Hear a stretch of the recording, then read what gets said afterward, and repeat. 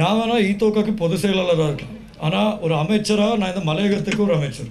நான் இதில் கட்சி பார்த்து தான் வேலை செய்யணும்னு இல்லை. என்னை பொறுத்த வரைக்கும் முன்னால் நாங்கள் வந்து இப்போ இந்த இப்போ அமைச்சர் பார் எடுக்கும்போது ஒரு விஷயம் நாங்கள் கவனித்தோம் இந்த அமைச்சர் பார் எடுக்கும்போது வெறும் ஒரு அறுநூற்றி தொண்ணூற்றி ஒம்பது வீடுகள் மட்டும்தான் மக்கள் கையில் ஒப்படைக்கப்பட்டுச்சு.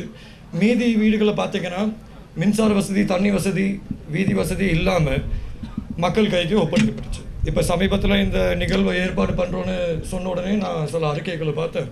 அதாவது அவங்க சொன்னாங்க ஏற்கனவே ஒப்படைச்ச வீடுகளை நாங்கள் திருப்பி ஒப்படைக்கிறோம் அது ஒரு தவறான விஷயம். அவங்க வந்து ஒரு அறகுறையான வீடுகளை உங்கள் கைக்கு ஒப்படைச்சாங்க. நாங்கள் இன்றைக்கி ஒரு முழுமையான வீடு உங்களுக்கு ஒப்படைக்கிறோம்.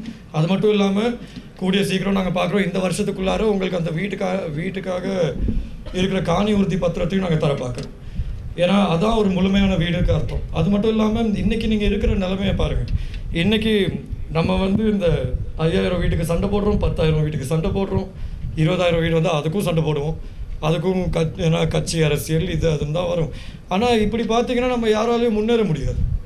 நம்மளுக்கு வந்து நிரந்தரமான ஒரு தீர்வு தேவை. இதை பற்றி நான் ஏற்கனவே தெளிவாக முன்கூட்டி சொல்லியிருக்கேன். நம்மளுக்கு நிரந்தரமான ஒரு தீர்வு என்னன்னா நூற்றி ஐம்பத்தி ஏழு வருஷமாக நம்ம இங்கே வாழ்ந்துட்டுருக்கோம் நூற்றி ஐம்பத்தி ஏழு வருஷமாக நம்ம இங்கே வாழ்ந்துட்டுருக்கோம்னா இது நம்மளோட காணி.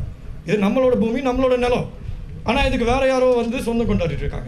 முப்பது வருஷத்துக்கு முன்னால் வந்து துரமார் அங்கே வந்து சொந்தம் கொண்டாடுறாரு. நீங்கள் நூற்றி ஐம்பத்தி ஏழு வருஷமாக அங்கே இருக்கீங்க உங்களுக்கு உரிமை இல்லை. அப்படின்னு பார்க்கும்போது நம்மளோட உண்மையான பிரச்சனை எதுவும் கவனிச்சாங்க. நம்மளோட உண்மையான பிரச்சனை வந்து வீடோ உட்கட்டமைப்பு வசதிகளோ கிடையாது. நம்மளோட உண்மையான பிரச்சனை வந்து நம்மளுக்கு சேர வேண்டிய காணி நம்ம கைக்கு இன்னும் வர மாட்டேங்குது அப்படி கிடைச்சா மட்டும்தான் நம்மளுக்கு ஒரு நிரந்தர தீர்வு இருக்குமே தவிர மீ- மீதி எல்லாமே தற்காலிக தீர்வு தான். எல்லோரும் வந்ததுக்கு ரொம்ப நன்றி. அதே சமயம் இதை வச்சு நான் எந்த இடத்துலையும் அரசியல் லாபம் தே தேடணும்னு அவசியம் இல்லை. ஏன்னா குறிப்பாக சொன்னால் பலம் இல்லாதவங்களுக்கு தான் அரசியல் லாபம் தேடணும். என்னை பொறுத்த வரைக்கும் என்னை இங்கே ஒரு வேலையை முடிக்க தந்திருக்காங்க. அந்த வேலையை முடிக்கிறதுக்கு இது ஒரு முதல் கட்டம். ஆயிரத்தி இரநூத்தி முப்பத்தி அஞ்சு வீடுகளை முதல்ல தந்தோம். இப்போ ஆயிரம் வீடுகள் தந்திருக்கோம். பாக்கி நாலாயிரம் வீடுகளையும் நாங்கள் தான் முடிப்போம். பத்தாயிரம் வீடுகளும் வரும். பத்தாயிரம் வீடுகளையும் கூடிய சீக்கிரம் ஆரம்பிப்போம்.